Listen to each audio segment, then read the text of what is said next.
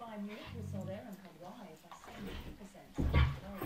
Manchester United dropped to fourth, still lead the way among English clubs. In fifth place is Paris Saint-Germain 42 million pounds. almost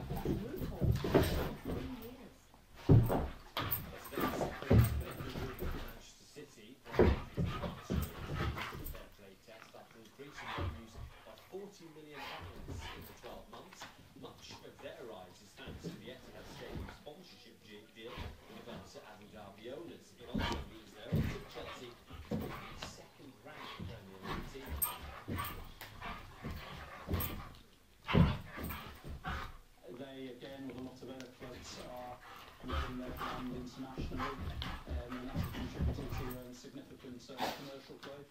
So yeah, they just sit outside the top five. Um, but yeah, they